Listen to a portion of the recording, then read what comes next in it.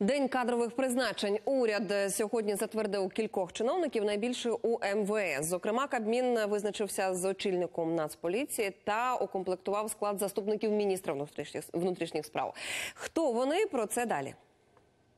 Новий начальник Нацполіції Ігор Клименко на службі в органах МВС уже 21 рік. До відставки з цієї посади Сергія Князєва був його заступником. Займався кадрами.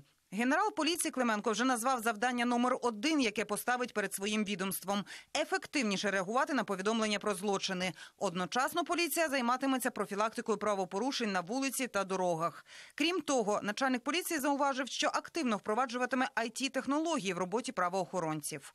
З офіційних даних відомо, що Ігор Клименко, випускник Харківського військового інституту, має другу вищу освіту за спеціальністю психолог. Брав участь в АТО в 2014 році.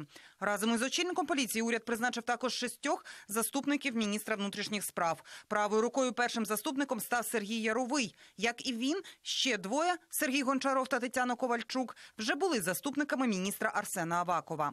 Команду поповнили Катерина Павліченко, Антон Геращенко та Олександр Гогілашвілі.